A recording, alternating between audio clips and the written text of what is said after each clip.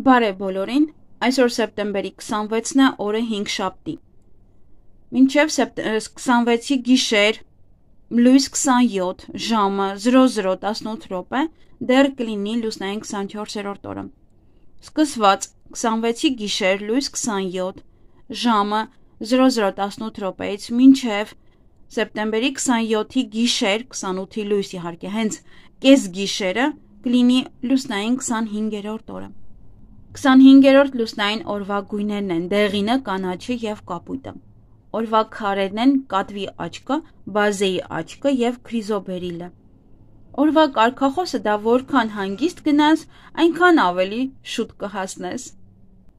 Իսկ օրվա կարկախոսը օրվա խորթանիշը դա կրյան է, խեցին։ Իմաստության եւ արդարության օր է։ Այսօր կկարողանաք հաղթանակ տանել դատարանում, եթե ունեք դատական գործընթացներ։ Միայն այնտեղ պետք է ձեզ պահեք շատ հանգիստ, այդ դեպքում կհաղթեք։ Ծուլության օր է նաև։ Մարդիկ կարող են լինել, ասես, անջատված։ Այսօր փորձեք քիչ ծանրաբեռնել ձեր ուղեղը, քիչ մտածեք, որ կարողանաք ձեզ տանջող որոշ հարցերի պատասխաններ գտնել։ Ինչ ցանկանում եք անել այսօր, ապա պետք է անեք շատ հանգիստ եւ դանդաղ։ Այսօր շատ նշաններ կստանաք, պետք է շատ ուշադիր լինեք, որpիսի ըմբռնեք դրանք Այն ձեզ ճիշտ ուղին ցույց կտան։ Նոր բան սկսելու կարիք չկա, բայց այն, ինչ արդեն սկսվել է, պետք է ավարտին հասցնեք։ Ամեն ինչ արեք հանգիստ եւ դանդաղ։ Եթե չեք ցանկանում այսօր նյարդայնանալ, ապա խուսափեք պատահական եւ անհարկի շփումներից։ Հարմար օր է անձնական խնդիրներն ու առօրյա հոգսերը լուծելու համար։ Յուրաքանչյուր ոգ պետք է նայի իր ներաշխարը, անդրադառնա իր վարքագծին, իր կյանքին Եթե այսօրվա համար ճանապարհորդություն եք պլանավորել, ապա ձեզ անսպասելի հաջողություն է սպասվում։ Կարևորը ոչ միտեղ միշտ ապեք։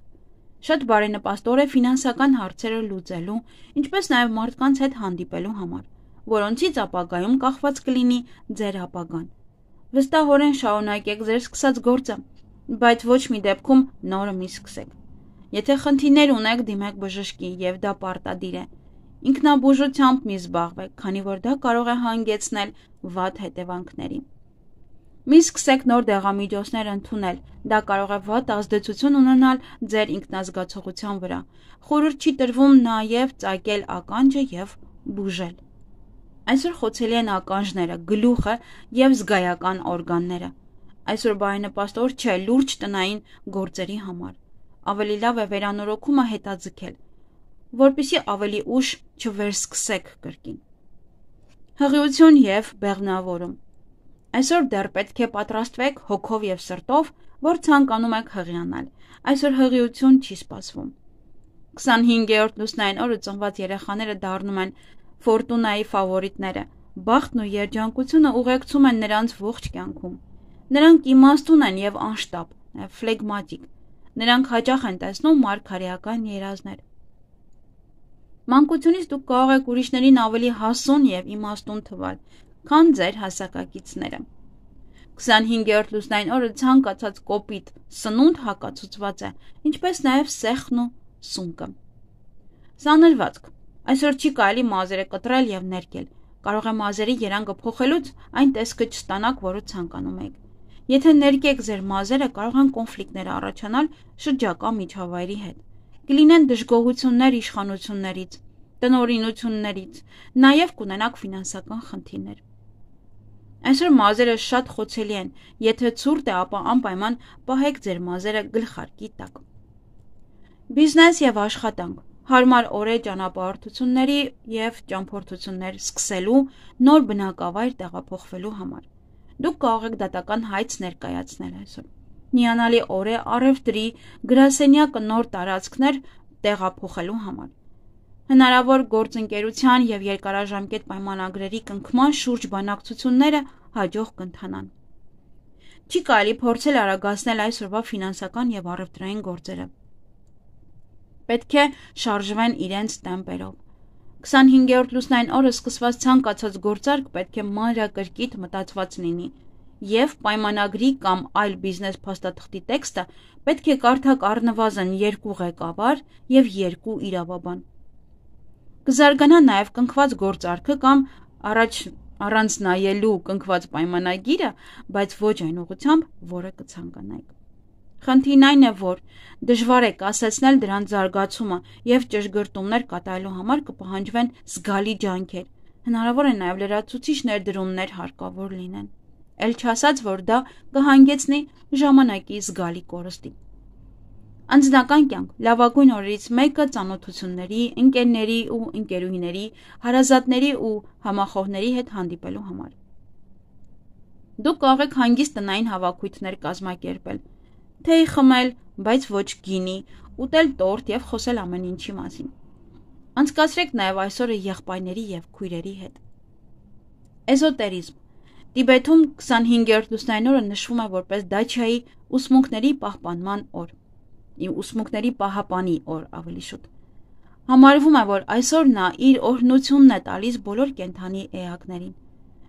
Էզոտերիկ քրիստոնեական ավանդույթի համաձայն մկրտությունը սովորաբար անցկացվում է 25-րդ լուսնային օրը։ Այսօր լսեք ձեր ներքին ձայնին, այն ձեզ շատ նշաններ կտա։ Այսօր շատերը կարող են տեսնել մարգարեական երազներ, որոնք կլինեն շատ խորհրդանշական եւ պետք է գրագետ մեկնաբանություն։ Երջանիկ եւ բարի երազներն իրականանում են, եթե ոչ ոքին չպատմեք։ Այսօր ծառեր եւ այլ բույսեր հարկավոր չէ տնկել, քանի որ դրանք շատ դանդաղ կաճ են։ Լուսնային 25-րդ օրվա հավելյալ քարերն են կարմիր հասպիսը, բազեի աչքը արդեն ասեցի եւ դաշտային սպաթը։ Եվ իհարկե ավելի լավ է ձեռնպահ մնալ տնկելուց, քանի որ այսօրը տնկված բույսերը, բացի այն, որ դանդաղ կաճեն, այլ նաև կարող են փչանալ։ Եվ հարսանիքի համար այդքան էլ լավագույն օրը չէ այսօր։ Ինչ կարող եք անել այս լուսնային օրը։ Տնային գործեր։ Միապաղաղ գործունեություն, ճամփորդություն, պլանավորված աշխատանքային ճամփորդություն նաև, վաճառքի հետ կապված գործարքներ, յոգա, մեդիտացիա, վստահեք ձեր ներքին ձայնին եւ ջրային ընթացակարգեր կարող եք անել։ Ինչից պետք է խուսափել այս լուսնային օրը՝ խոշոր կամ ինքնաբուխ գնումներից առևտրի հետ կապված դրամական գործարքներից, շփումից, հաղորդակցությունից եւ լուրջ ֆիզիկական ակտիվությունից։ Օրը 5 շաբթի է, Յուպիտերի օրն է։ 5 շաբթին տալիս է մի շարք հետաքրքիր հատկություններ։ Այսօրը բարենպաստ է համարվում կրթության, կարիերայի, ճամփորդության եւ ֆինանսների հետ կապված ցանկացած գործի համար։ Այսօր դուք կարող զգալ աճի եւ ինքնազարգացման կարիք։ Բացի այդ, Յուպիտերը ասոցացվում է առատաձեռնության եւ ինչ որ բանով կիսվելու ունակության հետ։ Դրա համար 5 շաբթի նույնպես լավ ժամանակ է դառնում բարեգործության եւ ուրիշներին օգնելու համար։